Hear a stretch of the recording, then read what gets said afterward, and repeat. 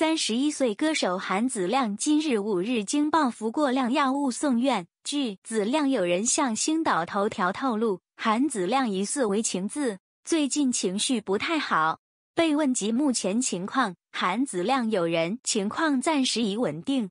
韩子亮过往因曾犯官非以及次改名成为网民讨论对象，面对网民嘲讽是更歌手，韩子亮一直乐观面对，专心做音乐。韩子亮两千零一十三因与一名男同志刚交后勒索对方二十五万元而被判所罪成入狱二十六个月。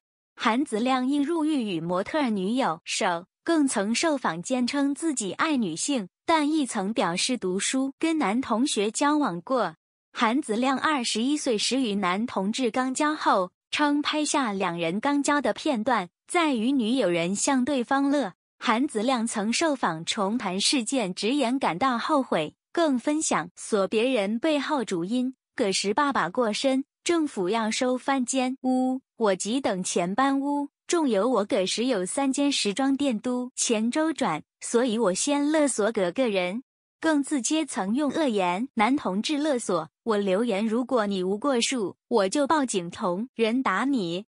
韩子亮在赤柱监狱期间。在狱中受禁期，不但被叫明星子，范颂又被吐口水，亦试过被狱非礼等，直言好难挨。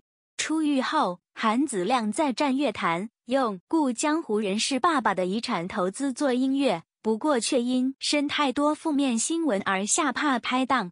及后，韩子亮又经时装店欠债八万元，一度无力偿还，想寻死。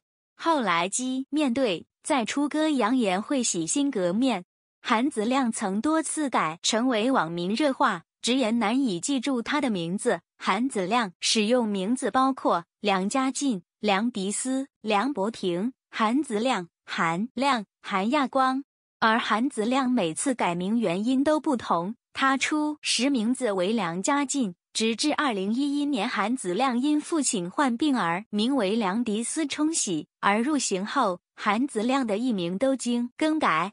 二零一三年，韩子亮以艺名梁博婷出道，英文名是 Jero。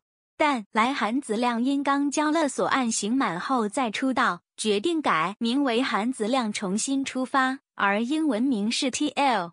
韩子亮二零一八年至两千零二十二将韩子亮的子改为子。二零二一年因转公司又再度改译为韩亚光，英文名 Fire。但此译名只用了一年，又改回时的译名韩子亮。星岛头条 App 今已推出最新版本，立即更新，浏览更精彩内容。